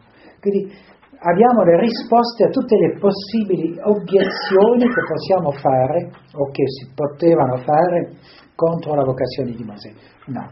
E come dirà il capitolo 12 del libro dei numeri, era il più umile di tutta la terra. O umile, umile sì. Vedi, non si può eh, criticarlo perché ha fatto carriera, no, si è diventato quello che è perché ha ricevuto un incarico. No? E ha ricevuto l'incarico quando Dio gli ha fatto capire la situazione del suo popolo. Bisogna fare qualche cosa. Bisogna fare qualche cosa. Quello che è interessante anche no, mm, riflettendo un po' mm, a una certa distanza, prendendo un po' di distanza dal testo biblico, Mosè poteva fare diverse cose, c'erano diverse soluzioni. Quella che conosciamo, beh, certamente, quella eh, che ci viene immediatamente in mente, però Mosè non rovescia il faraone, cioè non cambia, non, va, non, cre, non organizza una rivoluzione in, in Egitto, non prende il posto del faraone, no, la soluzione è uscire andare altrove. Non si può rimanere in Egitto, si va altrove, bisogna uscire, uscire. E uscire nel deserto, ecco no, dove non c'è niente. Quindi è una situazione molto difficile e basterà poco tempo per sentire il popolo lagnarsi, mormorare, protestare, organizzare scioperi e così via. No, no, è uscire, uscire, dove non c'è niente, ma poco importa, bisogna uscire dall'Egitto. Non è possibile eh, vivere la libertà finché si vive in Egitto. E, mm, il testo è interessante da questo punto di vista perché il racconto della nascita di Mosè è un racconto ben conosciuto in tutto il vicino Oriente antico, in tutta l'antichità, anche in Grecia, e è la nascita del rivale del, del re. Un racconto che ritroviamo nel Nuovo Testamento, in Matteo, eh, quando arrivano eh, i re, i tre re, no? i magi. Questo racconto riprende elementi e ne, mh, ne, conosciamo almeno una trentina ecco, di, di, di, racconti di questo tipo. Nasce un rivale che normalmente è di grande famiglia, poi è esposto, anche c'è un, persino un testo Meso, alla Mesopotamia, un re Sargone, che è stato esposto, raccolto, poi finalmente prende il potere. Quindi questo racconto potrebbe suggerire che Mosè nasce, diventa un rivale del faraone, no? Il faraone vuole ucciderlo e lui sfugge, scampa al pericolo di morte e poi alla fine normalmente ritorna e, e prende il potere. E così no? lui nasce, poi viene al, educato eh, dal faraone e potrebbe a un certo punto salire sul trono dell'Egitto, un po' come Gesù, no? Erode capisce che quello è un rivale, anche nel Nuovo Testamento si prende un'altra via. Mosè non diventa faraone in Egitto, non prende il potere, va altrove, va nel deserto. Anche Gesù andrà per almeno 40 giorni nel deserto, no? e prende un'altra via, un altro tipo di potere, altro tipo di autorità, un altro tipo di vita, un altro stile. Qui Mosè non diventa faraone. Beh, sì, conosciamo tutte le obiezioni, quindi è una vocazione autentica e l'autenticità viene dalle obiezioni. Ecco, no? È importante nella Bibbia mostrare le obiezioni. Se non ci sono obiezioni, significa che la vocazione forse non è autentica. Ecco. Una delle possibili lezioni no? è questo racconto. Beh, torna in Egitto, Mosè non ritrova suo fratello Aaron perché, eh, come dice il racconto, quando Mosè dice non posso parlare, allora Dio dice ma tu, tu tuo fratello sacerdote, lui sa parlare, ecco, allora lui parlerà per te. E tornano in Egitto entrambi, vanno a trovare il faraone e allora il, il capitolo 5 eh, del libro dell'Esodo è un un eh, racconto pieno di insegnamenti. Vanno dal faraone e allora arriva la, la domanda del faraone, no? Chi è il Signore? Eh? Capitolo 5, versetto 2. Chi è il Signore e perché dovrei ubbidire e ascoltare la sua voce? No? Domanda. La vera domanda, no? chi è il Signore? Infatti è una domanda di tutto il libro dell'Esodo. Chi è il Signore? E il libro dell'Esodo risponde a questa domanda. Ce ne sarà un'altra nel capitolo 17, versetto 7, non sono nel deserto. No? Il Signore è in mezzo a noi, sì o no? Chi è il Signore? Dove è il Signore? Come si manifesta? No? E il libro dell'Esodo risponde a queste domande. C'è? Non c'è? Capitolo 17, no? famoso capitolo che racconta il miracolo della roccia, no? Mosè che colpisce la roccia e ne scaturisce acqua. Allora, alla fine no? il popolo ha messo alla prova Dio no? e c'è o c'è in mezzo a noi il Signore. E arrivano al faraone e il faraone dice ma come mai? E Mosè non chiede di uscire dall'Egitto, allora lì di nuovo no, sono le costruzioni, come detto nel libro dell'Esodo, è come una città con costruzioni di diverse epoche, ma nel capitolo 5 Mosè chiede al faraone soltanto di partire per tre giorni, tre giorni per andare a eh, onorare il loro Dio nel deserto. Allora, sì, nel deserto forse a una certa distanza, non è necessariamente il deserto del Sinai, come si sa quando si lascia la vallata del Nilo uno si ritrova nel deserto in Egitto, eh, forse era questo. E vanno nel deserto, molto probabilmente c'è una vecchia idea che ritroviamo anche già alla fine del libro della Genesi, che per gli egiziani, eh, non, per gli egiziani eh, le pecore sono animali sacri, quindi uno non può offrire pecore. E abbiamo testi anche tardivi di un tafferuglio, di un problema fra egiziani e ebrei perché sacrificavano pecore. O c'è un dio in eh, Egitto che ha la testa di un montone, un ariete, e quindi eh, sono animali che devono essere rispettati. Ecco, no? E molto probabilmente per questo motivo, quando vogliono offrire un sacrificio, gli ebrei vanno via nel deserto, lontani, così non sono visti e non scandalizzano gli egiziani. Beh, ma il faraone dice, ma perché partite tre giorni? No, e che cosa volete? Voi siete pigri, pigri, no, la mentalità, siete pigri, non volete lavorare, perciò chiedete tre giorni di, di ferie allora, invece di avere ferie, è il contrario, farò lavorare di più. Non volete fare, dovete fare mattoni, c'è la quantità dei mattoni che dovete fornire ogni giorno, quella rimane la stessa, ma dovete trovare voi la paglia per fare i mattoni. Così mm, non discuterete, non farete eh, riunioni sindacali, non parlerete no, di andare a fare la, la festa nel deserto, così via, avrete poco tempo da discutere, dovrete trovare la paglia voi stessi, no? tutti zitti a lavorare. E, e bene, i bravi poveri ebrei devono fabbricare i mattoni e andare a trovare la paglia, non riescono a fornire la quantità di mattoni di ogni giorno, i sorveglianti no, cominciano a usare la frusta e così via. Finalmente tutto quello arriva a Mosè e la gente dice ma tu sei intervenuto e qual è il risultato? La situazione è peggiorata. Sarebbe stato meglio se tu fossi rimasto, se fossi rimasto nel deserto. Meglio non intervenire, prima del tuo intervento la situazione era difficile, dopo il tuo intervento è peggiorata, molto peggiorata, vabbè. E allora Dio, allora Mosè cosa fa? Va a trovare Dio, bussa alla porta, chiede un'udienza e dice, caro mio, ti avevo detto di non mandarmi, no? Te l'avevo detto, no? Allora vedi, non hai salvato per niente questo popolo.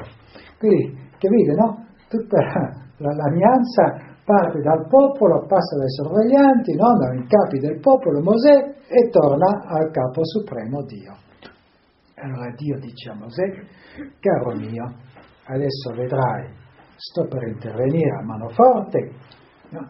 e il faraone non vi lascerà uscire, vi caccerà via. Bene. Quindi, primo intervento di Mosè, fallimento, fallimento completo.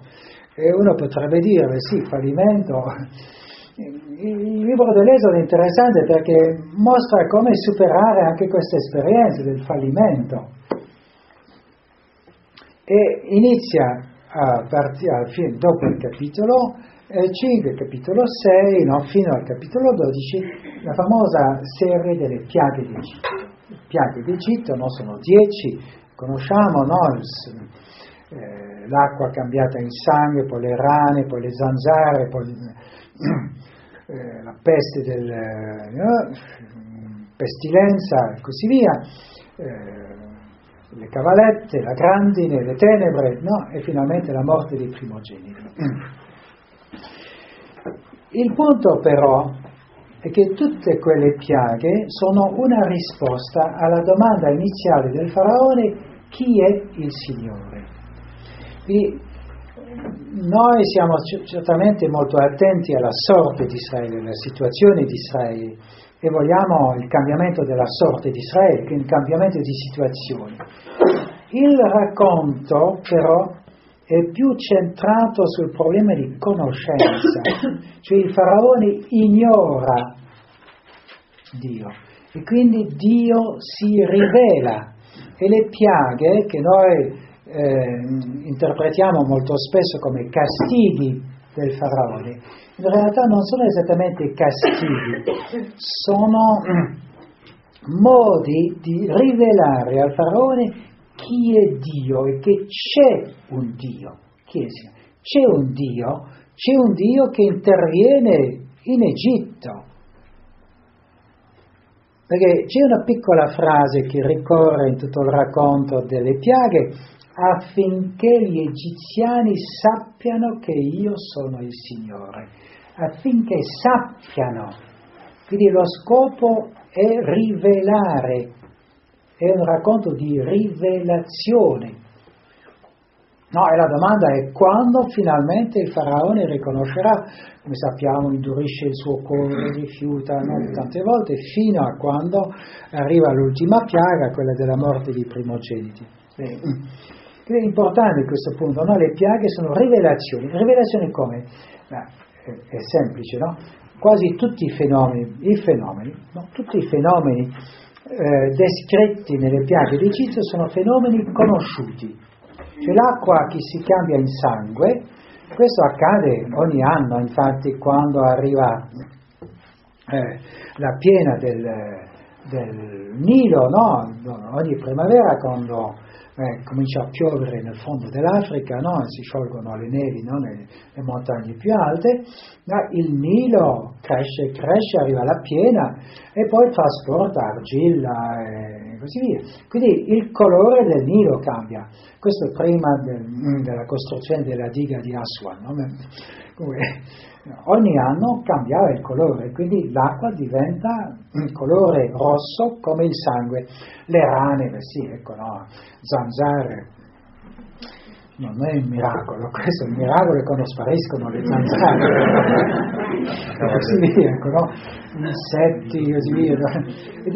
Anche, anche persino la grandina, e se badate bene, il racconto nelle, nelle, che descrive l'arrivo della grandine è più lungo degli altri perché è un fenomeno molto raro in Egitto, però è conosciuto anche in Egitto. Cavalette, sì, questo è molto conosciuto. Tenebre, sì, è quando soffia il vento dal deserto, con la sabbia non si può... Uno è incapace di muoversi, no? E persino la morte dei primogeniti, allora di tutti i primogeniti, ma probabilmente eh, il, racconto, il racconto biblico Dico questo, eh, è una mia barzelletta, una mia battuta, no? Il, eh, I racconti biblici sono come il pesce. Eh, il pesce pescato dal pescatore la domenica ha questa dimensione, no? Tutti lo vedono. Il lunedì, quando va in ufficio, il pescatore dice il pesce era così, no? E racconta agli amici, colleghi, così via, e durante tutta la settimana il pesce cresce, cresce. Alla fine della settimana era così grande che ha dovuto far venire un camion per portarlo a casa. No? Quindi i racconti biblici sono abbelliti. No, è facile ritrovare anche nei Vangeli, così via, a poco a poco eh, si accumulano i dettagli. Così. E molto probabilmente eh, l'origine del racconto è la morte del primogenito del faraone. Infatti la prima volta che si parla, e questo il capitolo 4 del libro dell'Esodo, si parla, no, tu non vuoi lasciare, se tu non lasci uscire il mio primogenito, cioè Israele, allora morirà il tuo primogenito, uno per uno, no? Ora, la morte del primogenito di un sovrano è una catastrofe nazionale, no? perché è l'erede del trono, quindi crisi, grande crisi, grande crisi, no? perché la linea dinastica rischia di essere interrotta così. E molto probabilmente è questo. Poi da lì la morte del primogenito delle faraoni diventa, no? diventa a poco a poco la morte di tutti i primogeniti, di tutte le famiglie d'Egitto, e poi persino la, la, morte dei primogeniti degli animali quando uno legge il capitolo 12. Ma questo è il pesce che è cresciuto almeno dopo una settimana, se non di più. Ora, eh, ho letto, io non sono medico, quindi non conosco tutto questo, ma sembra che in antichità, e forse ancora oggi, c'è una malattia particolare che colpisce i primogeniti è molto possibile che sia un caso di questo tipo, o il ricordo della morte di un primogenito di un faraone, no? che è rimasta nella, nella, memoria collettiva del popolo e, e anche finalmente ha trovato via fino al racconto. Quindi sono fenomeni naturali, ma significa allora, tradotto in linguaggio molto semplice, che il faraone, tutto faraone che è, ha un potere limitato. Lui non comanda il Nilo, non può decidere quando il Nilo eh, ha la, sua, la piena del Nilo. Non decide quando ci sono rane, non ci sono rane. Non può comandare le zanzare, non può comandare gli insetti, non può guarire il bestiame che soffre di una pestilenza, di qualche malattia non può impedire alle cavalette di invadere il suo paese, non può comandare le nuvole e dire, non, proibire che ci sia la grandine. No, non può. non può impedire al vento di venire dal deserto, Qui non comanda la salute della gente, non comanda la salute degli animali, quindi ha un potere limitato, deve riconoscere questo potere limitato e quindi deve riconoscere che non ha il potere di privare il popolo della sua libertà. Anche questo, la libertà della persona non appartiene al sovrano, non appartiene. Questo sarebbe il messaggio del, delle piaghe d'Egitto. Eh, e ce ne sono dieci, quindi uno potrebbe dire, uno può dire, che Dio ci ha messo il tempo, no? Non ha mandato soltanto un, un avvertimento, no, no, più di uno, ci sono dieci, e potrebbe anche venire da una riflessione su, sulla vita quotidiana. No? Il faraone deve riconoscere, non riconosce, salvo quando arrivano, arriva l'ultima piaga, cioè la morte dei primogeniti, allora li chiama Mosè e dice andate via tutti quanti al più presto possibile no? e partono tutti durante la notte dopo la celebrazione della Pasqua. Allora, sappiamo questo, aggiungo soltanto che la celebrazione della Pasqua è l'anticipo della libertà, no? il primo atto di libertà perché è culto. culto. E nel mondo biblico e soprattutto nel libro dell'Esodo, il vero servizio servizio, lavoro, servizio, è servizio di Dio e la liturgia dovrebbe essere l'immagine del vero servizio perché è gratuito, gratuito.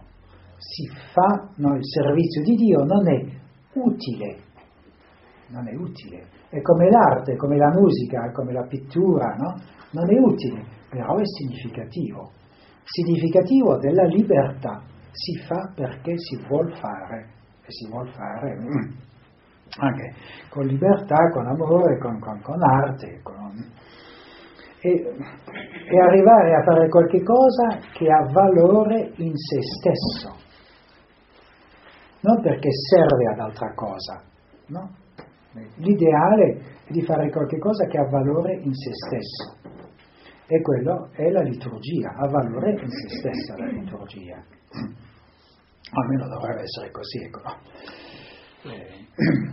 Eh, il popolo esce da, dall'Egitto, no? eh, cammina un giorno, no? sono le tappe, delle...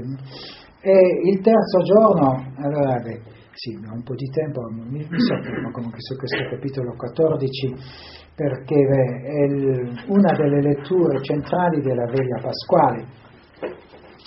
Dopo tre giorni, beh, Dio chiama Mosè, no? un racconto che arriva capitolo 14, diviso in tre parti, purtroppo la liturgia inizia nel versetto 15 e quindi lascia tutta la prima parte e, e Dio chiama Mosè e dice perché credi verso di me?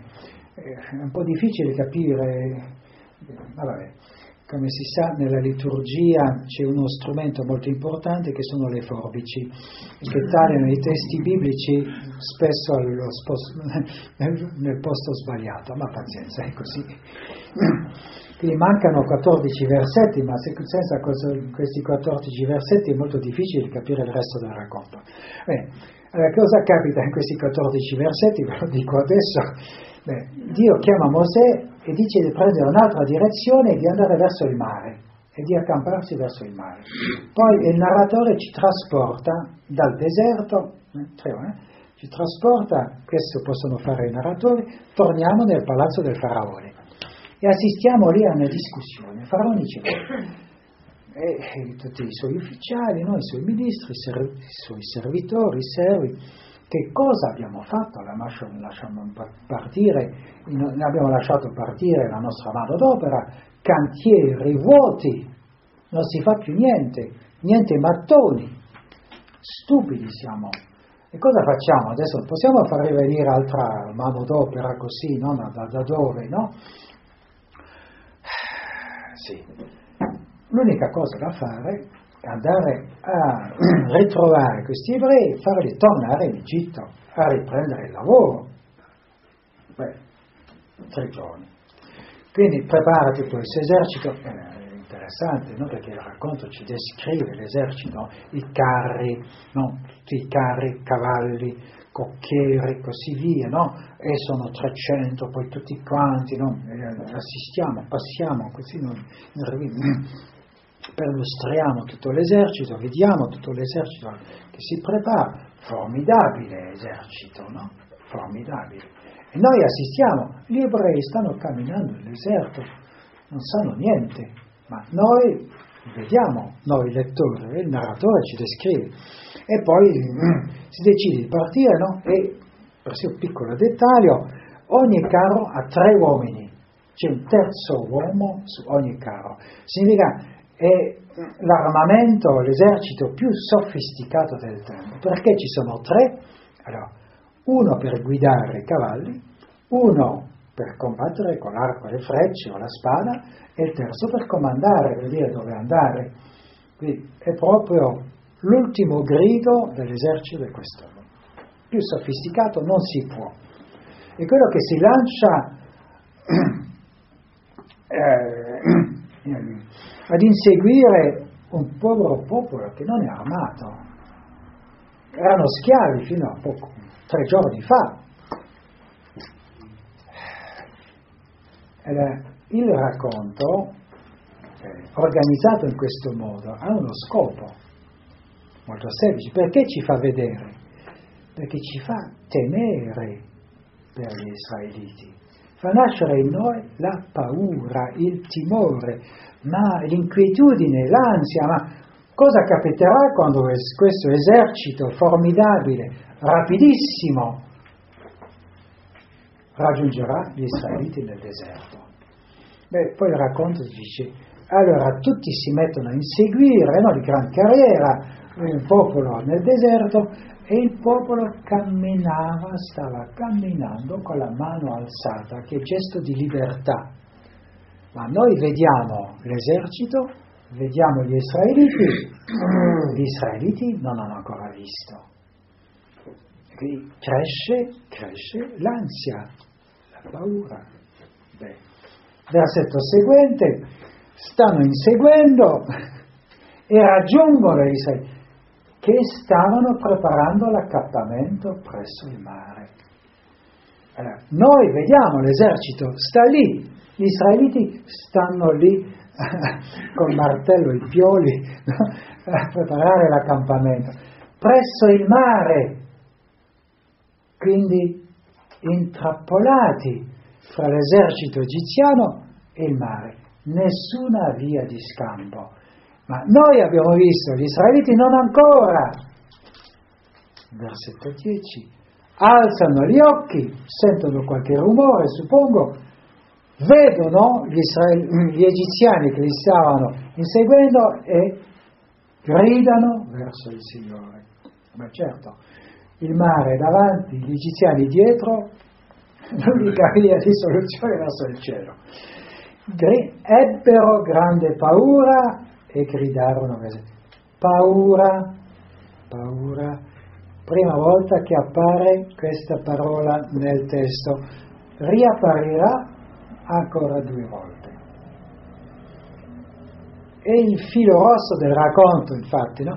Perché il, il racconto, il narratore, potremmo dire, ha già generato nei lettori la paura, il timore, l'ansia, no?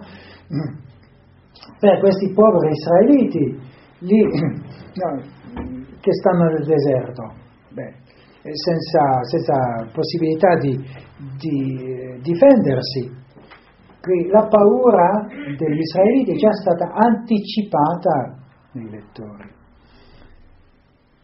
Passo due versetti perché gli israeliti si lagnano subito, no, ma è la loro natura, vogliono tornare in Egitto, ma probabilmente questo è un altro questo, perché hanno paura di morire nel deserto, hanno paura di morire nel deserto e non di tornare in Egitto, vogliono tornare in Egitto perché si stava abbastanza bene finalmente, no? Questi versetti hanno però un, uno scopo importante, è dimostrare che Israele, libero liberato, affrancato, ha ancora una mentalità servile. Appena vede un esercito potente, ridiventa schiavo. E quindi il racconto vuol mostrare come Israele non soltanto sarà liberato dalla schiavitù, ma anche dalla mentalità di schiavo, perché ha ancora una mentalità di schiavo, no? versetti 11-12. Nel versetto seguente allora Mosè dice, non temete, non abbiate paura. Questi egiziani che vedete adesso non li vedrete mai più. Il Signore vi salverà oggi.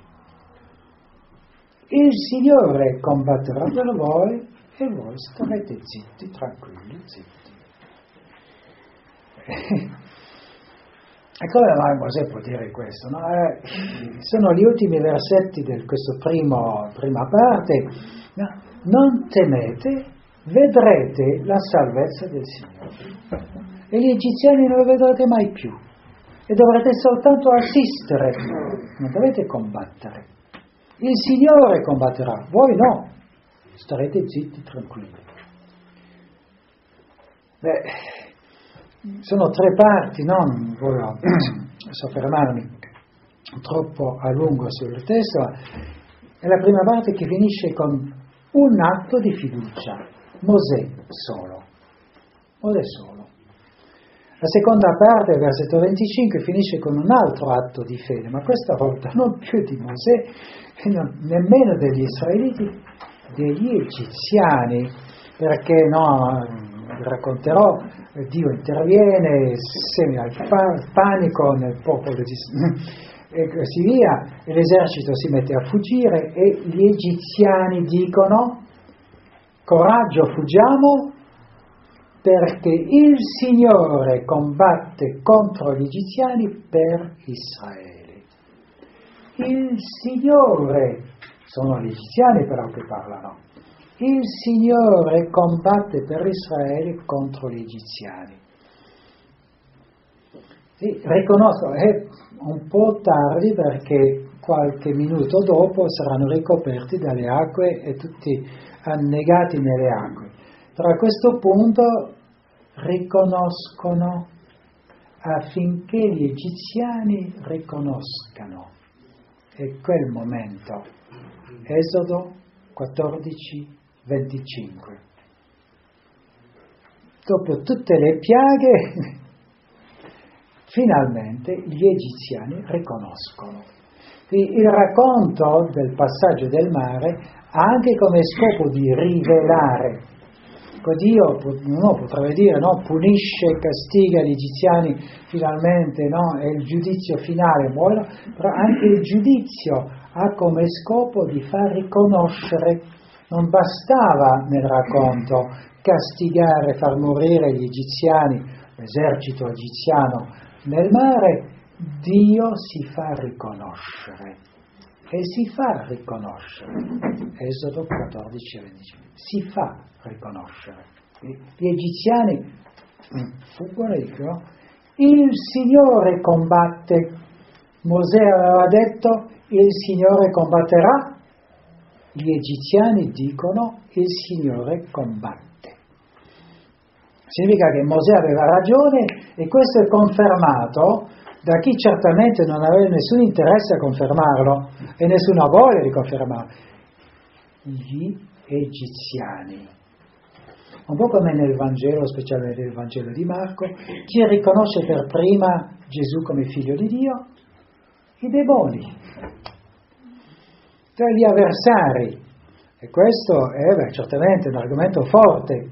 Sono coloro che non volevano affatto, eh, anche qui, sono coloro che non volevano affatto riconoscere la presenza di Dio, che devono per forza riconoscerlo.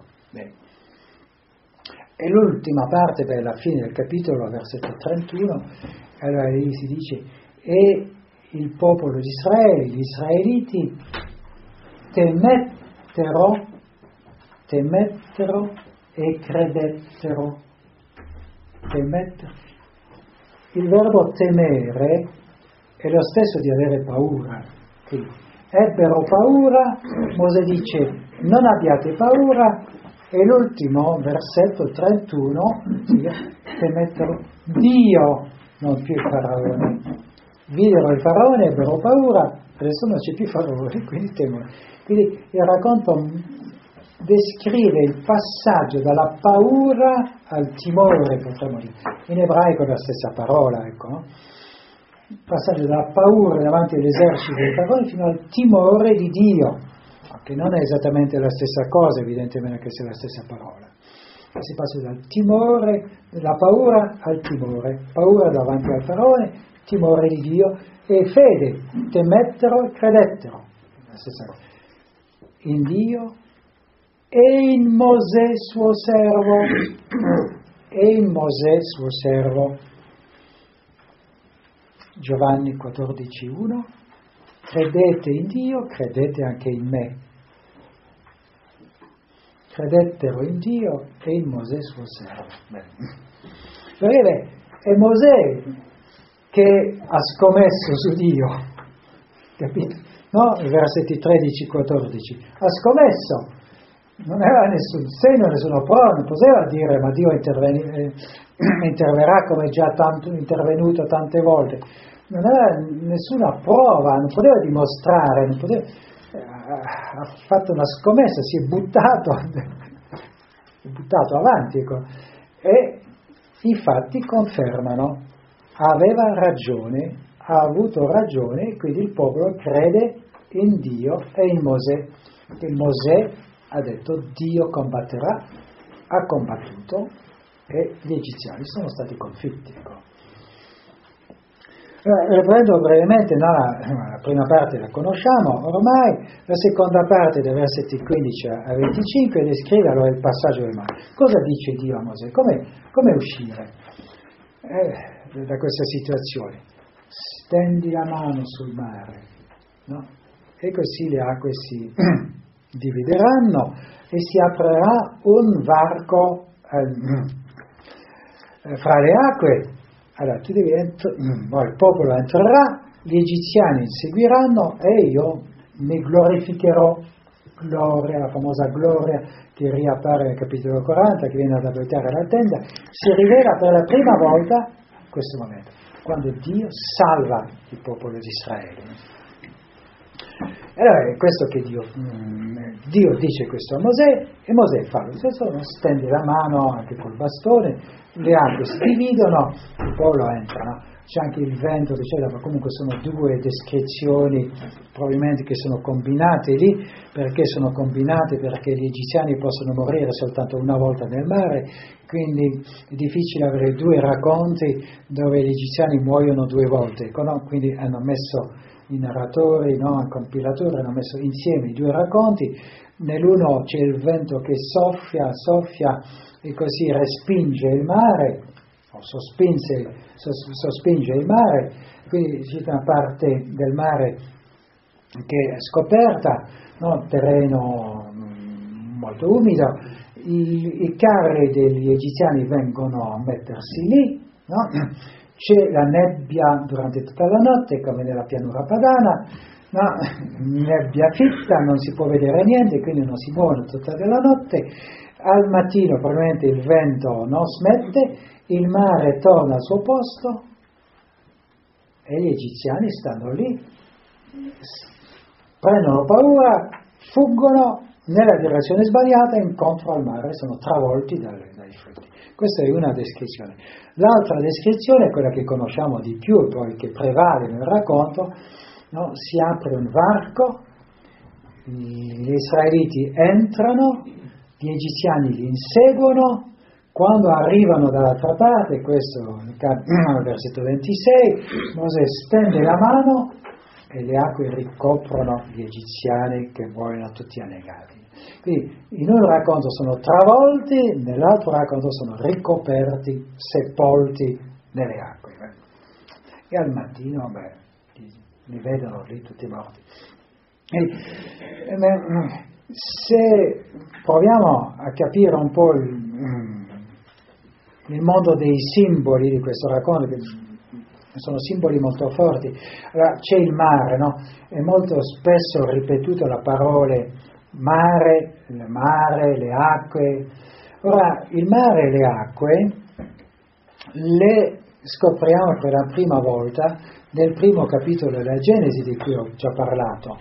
Cioè all'inizio, versetto 2, capitolo primo, tutto è ricoperto dalle acque. E eravamo nelle tenebre. No? Le tenebre ricoprivano l'abisso e così via. E poi la prima cosa che Dio fa è accendere la luce. No? Sia la luce e ci fu la luce. Eh, se no non si può fare niente, quindi accende la luce e poi crea il mondo. No? crea la luce, tenebre, luce. E lì abbiamo l'alternanza fra giorno e notte. E poi, beh, come sappiamo, dopo fa apparire, no? il terzo giorno, fa apparire la terra asciutta, che chiama terra e la separa dalle, dal, dalle acque che chiama mare. Allora, I due simboli importanti, tenebre e mare, sono collegati nel mondo della Bibbia, eh, è il mondo del caos, caos, il mondo della violenza, il mondo della morte. E Dio fa sorgere la vita da questo mondo.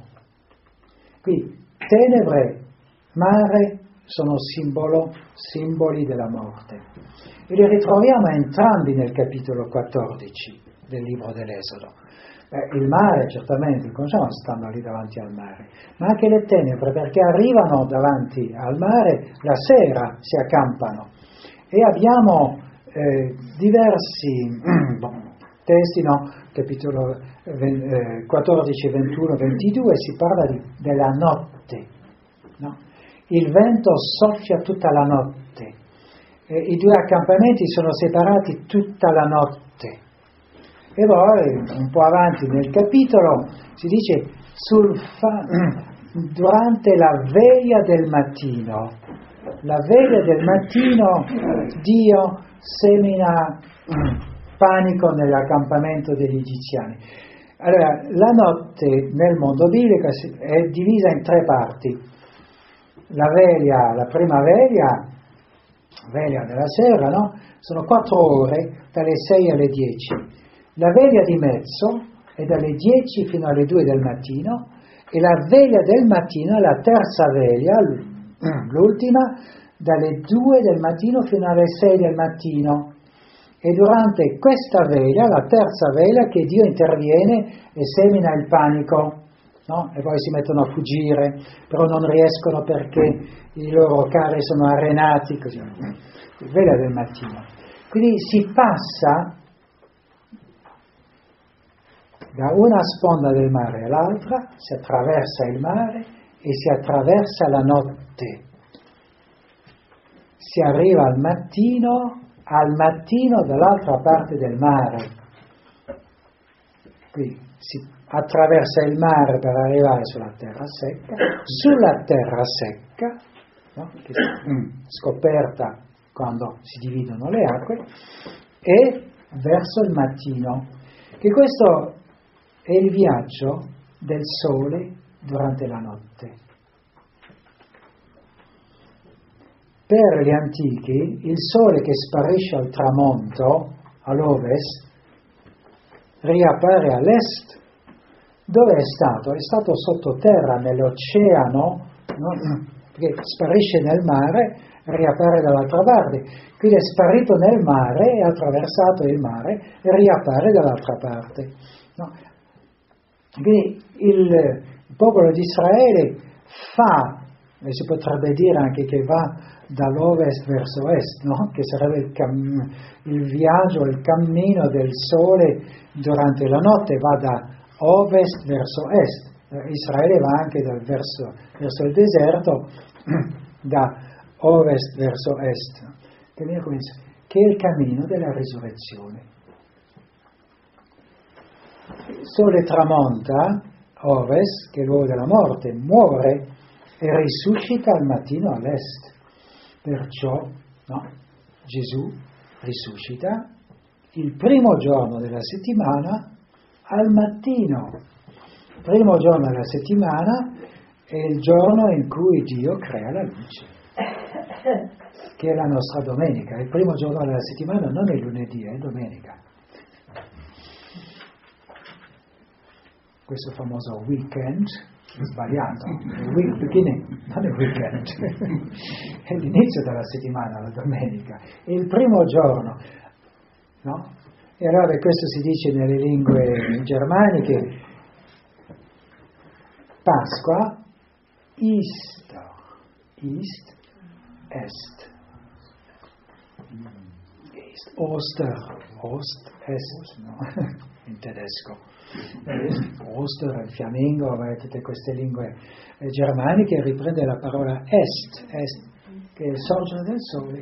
Eh, comunque Israele attraversa il mare, ma il mondo attraversa la notte, il mare, quindi attraversa la morte. Significa si è buttato nel mondo della morte, ha superato la paura della morte. E quando Israele supera la paura della morte, eh, grazie a Mosè, grazie no, a quel prodigio compiuto da, da Dio, eh, significa supera la paura della morte e superando la paura della morte supera la sua mentalità di schiavo. Sarà schiavo finché avrà paura, e la grande paura è la paura di morire. Significa che c'è qualcosa di più importante di questa vita. E lo scopre grazie a Mosè, grazie a Dio. E beh, finisco, no, perché vedo che sono già le 12 e qualche cosa. Eh, c'è una parola nel capitolo 14 che è importante, aprirò un varco, no? si divideranno le acque e camminerete sulla terra asciutta. Terra asciutta è una parola che appare nel capitolo primo della Genesi, quando Dio fa apparire la terra asciutta, poi separa la terra dalle acque. Quindi se qualcuno fa apparire la terra asciutta nel capitolo 14, non può essere che il Dio creatore. Quindi chi interviene a favore di Israele nel capitolo 14 dell'Esodo? È il creatore dell'universo che mette al servizio del suo popolo la potenza che ha adoperata per creare il mondo. È il creatore dell'universo.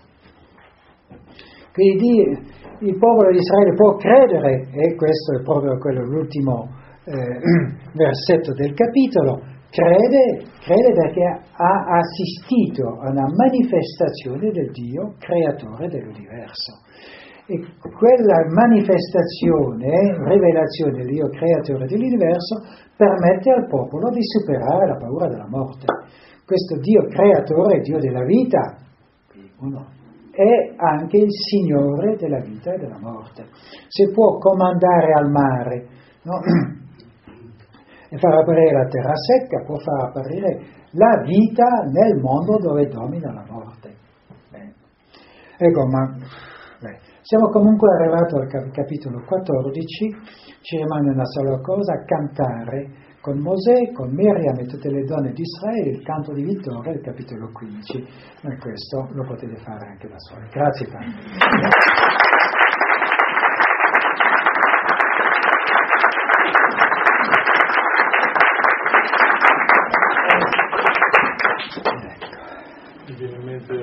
quando Gesù no, vi dicono ma chi è costui a cui anche le acque obbediscono? Sì, sì, ecco, sì. Infatti, sì, sì. Certamente è un miracolo molto tipico, eh, il più importante degli altri perché Gesù lì dimostra di avere una potenza che è simile a quella del Dio creatore. Ecco. Perciò sono stupiti